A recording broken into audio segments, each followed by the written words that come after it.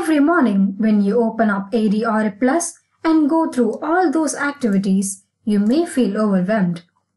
If you would like to have a short summary of the most prominent happenings in your domains, hit Summary View. Displayed here are all the information you need to know about the daily activities.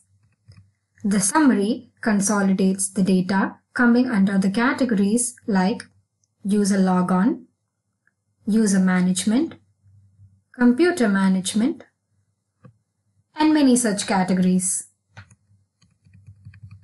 Now you can look through them and get an overall understanding of what has happened in a day.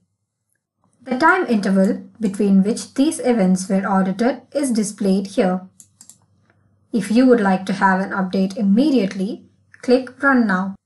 With the help of summary-based reports, you can quickly catch any activity that might require your immediate attention. For example, we see here that of the 23 logon failures, 21 of them have been caused by the administrator. Now that is something you will have to investigate.